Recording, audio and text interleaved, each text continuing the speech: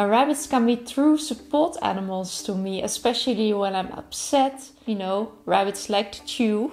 We all know that. Oh. I sometimes feel like breathing in hair instead of air, you know? Just like some people, I prefer being alone too. Hello everyone, I am Mariska and I'm the bunny mom of four adorable rabbits. In this video I'm going to answer your questions because yes, this is the Q&A and some of you were kind enough to post questions for me. So I'm going to answer them and I've seen some very nice ones. So let's start right away. What do you love most about having house rabbits in your life? What I love most about having rabbits in my life is their sweet, good natured company. They're those sweet little fluff balls. They hop around the house, look at me curiously, do naughty things, and are so, well, so cute. Most of my bunnies love being petted, so I can cuddle them and lie next to them and play games with them. Since I have rabbits in the house, I haven't felt lonely because they are always here and they always, you know, they always have that sweet little face that I, I just melt when looking at them and that makes me happy. In which way do rabbits help you when you need it? My rabbits can be true support animals to me, especially when I'm upset. So, when I'm, for instance, crying about something, they can feel it. And especially Fliepje, she can get a bit upset herself, so she can start thumping. So at that moment, she isn't really a help, but she can show me some kind of a mirror.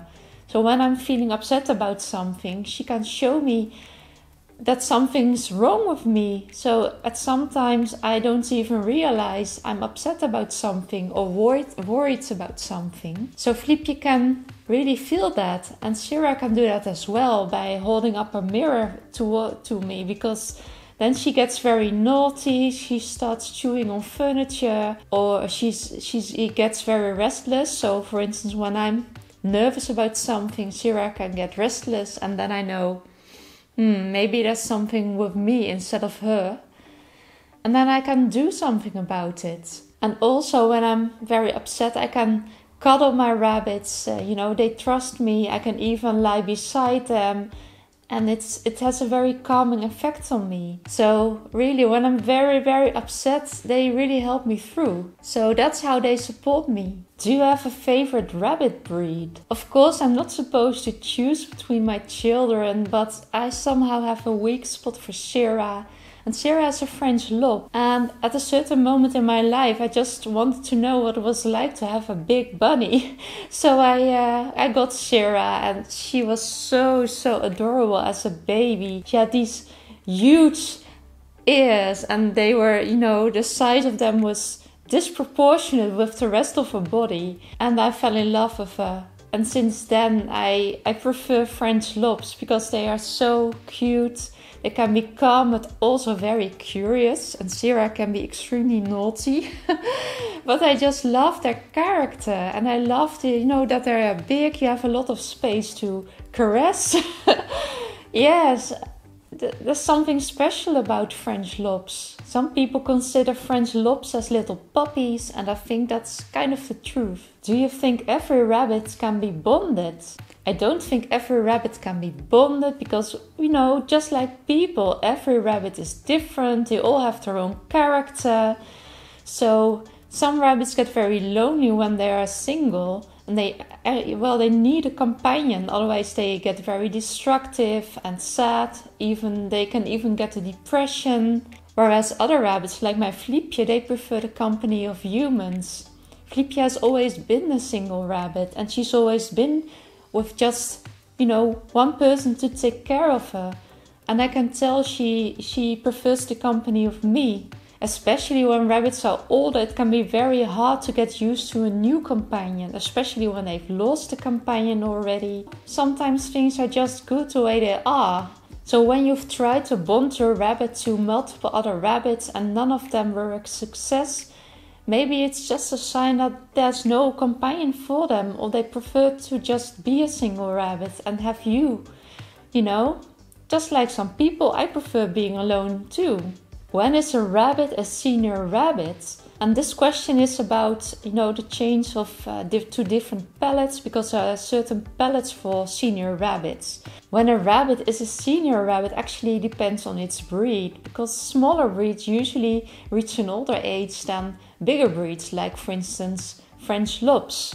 So smaller breeds usually reach senior age around the age of 7, but they can, you know, they can, can become 12 years old. So it really depends on you know, also on their health and such. Whereas bigger breeds, uh, they can only reach five to six years old. Then, you know, they uh, become a senior when they're four or five years old. But I suggest just looking at your bunny, you know, when your bunny is, you know, obviously getting older, maybe he's getting more, you know, hunched back uh, or getting some health problems, then it can be advisable to switch to different pellets, to uh, senior pellets, because those contain more nutrients uh, which are suitable for older rabbits. I've also noticed that these pellets can be a bit smaller, maybe they are easier to eat. So uh, it, it really depends on your rabbit. My Fliepje is already 9 years old and she can sometimes uh, be ill uh, at the belly and then she's really, you know,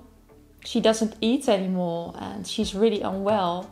So I decided to switch to senior pellets for her several years ago because my feelings said that would be the right thing to do.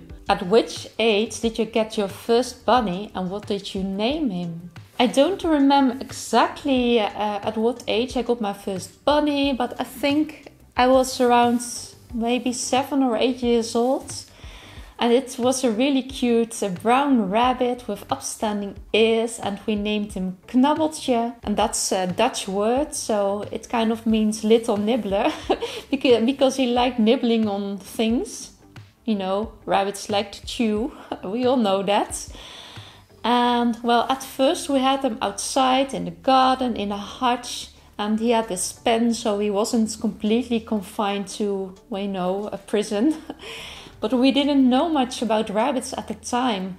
So, you know, he got very lonely. He was a single rabbit, and when we went outside in winter to give him food and water, we found out that his water was completely frozen, and that was so, you know, we felt really guilty about that. So we brought him inside and he got very happy. Since then, we've never kept a rabbit outside of the house because we love the company and we love seeing our rabbits happy. How do you survive molting season with four rabbits? And yes, the person who asked this question uh, said, Well, I sometimes feel like breathing in hair instead of air. And I can really relate to that because, you know, having four rabbits in the house in molting season, that can be quite hard.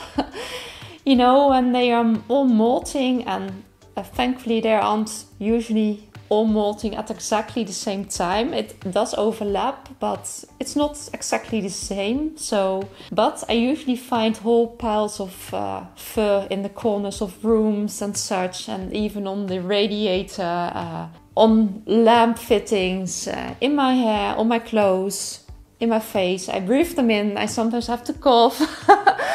So, yes, it can be hard, but you know, I survive it by uh, brushing my bunnies as much as I can. And then when I brush a bunny, I take him or her outside because then the fur, you know, stays outside. And I'm very, very sorry to my neighbors when I do that. I try to, you know, when I brush them to put uh, hair in a little bucket so it won't fly fly over the fence of my garden and maybe get into the food of neighbors just eating their barbecue food. Um, but that that can help a lot to brush them and I also vacuum a lot. I have this Dyson vacuum so it's easy to you know to just get it and vacuum quickly. So that really helps but in spite of that it's uh, you know the house isn't very clean all the time.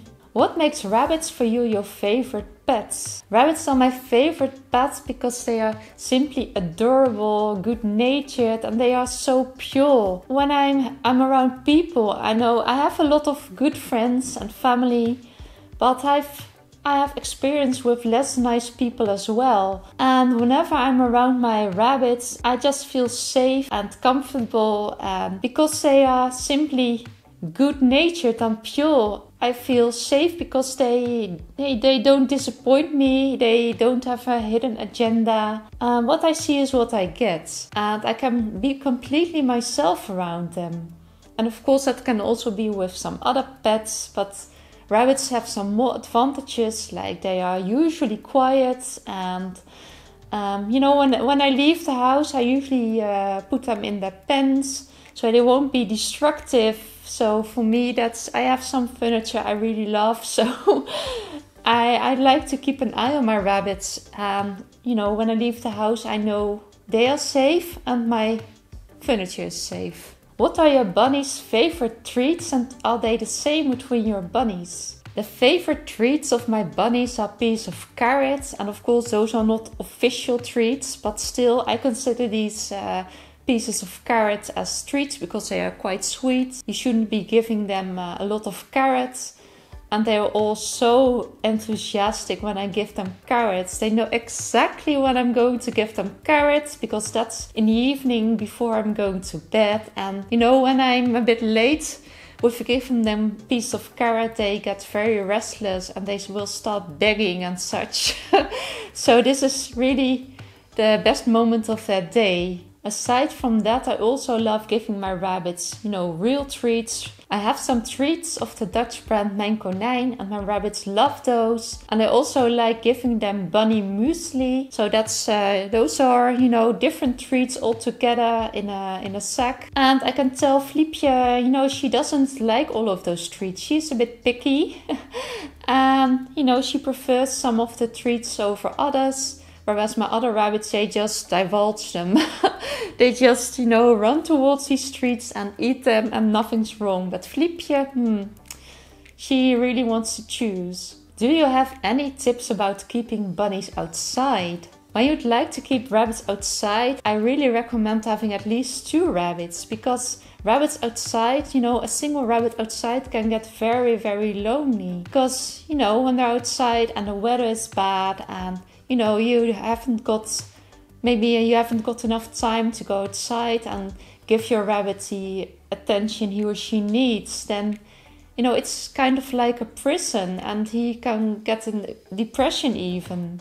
Aside from that it's important to have a safe and warm rabbit habitat especially in winter because then it can grow very cold and the rabbit habitat needs to be isolated and it needs to contain a lot of straw so your bunny can stay warm.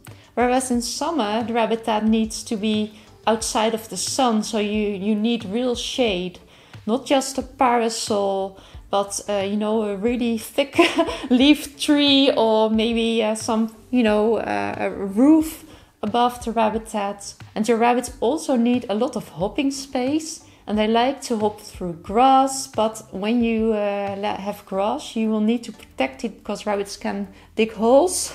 so uh, there are a lot of things you need to consider. Uh, also, uh, there can be predators depending on your country.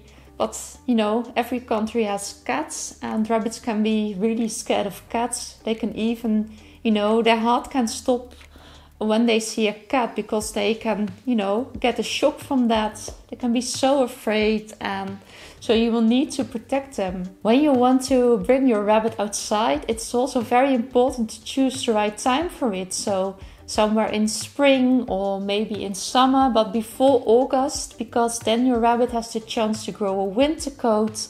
So, you know, he, he's protected against cold. Do you have some great tips for bonding rabbits? This question is from somebody who, would like to give a, a future friend to a bunny. She still has a young bunny. When you'd like to bond your bunnies, it's very important to let them get to know each other gradually. So, what I did with Poppy and Silver when I introduced them to each other was to put them you know, each on one side of a, of a fence, of a pen. And then they could actually, you know, uh, go to each other and, you know, uh, sniff at each other through the bars of the pen. And they instantly liked each other. They were very curious. So I think this was very, very easy. And at a certain moment, they started, you know, licking each other through the bars. And then I could go a step further and, you know, let them together under supervision and see if things kept going all right. And in the end, they, you know, they could stay together without problems. When your rabbits don't hit it off right away, you can bring them to a neutral area that isn't too large but not too small either. You want them to be able to make contact to, with each other and not hide from each other, but they also want to be safe enough. So for uh, Silver and Sarah, I chose uh, the upstairs hallway and I, uh, you know, I put them in there and I sat between them and I let them up around me and, you know, make contact with each other. And, you know, that went quite well. But it's very important to, you know, keep them under supervision at all times because some rabbits really, you know, they can bite each other, they can even start fighting each other, and that can get very rough. Some rabbits even want to kill the other one. So maybe when that happens, you know, it's maybe they're not the right bonds for each other. Anyway, I, I would suggest uh, having them get to know each other gradually. So maybe have two pens in the living room or wherever your rabbits live. And when one of them is hopping around the space, he or she can go to the pen of the other and they can, you know, sniff at each other. And, you know, when people get to know each other, they usually don't hit it off right away. Well, some people do, but, you know, it's more natural to have them uh, get to know each other and then they can you know see for themselves if they like each other or not so these were the q&a questions i had for you i would like to thank you for asking me these questions. I really like having contact with you so if you have any comments or other questions please put them in the comment section because i love reading them. Also if you like this video it really helps me if you hit the like button and if you don't want to miss any future videos you can subscribe to my channel. And then we will see each other next time. Bye bye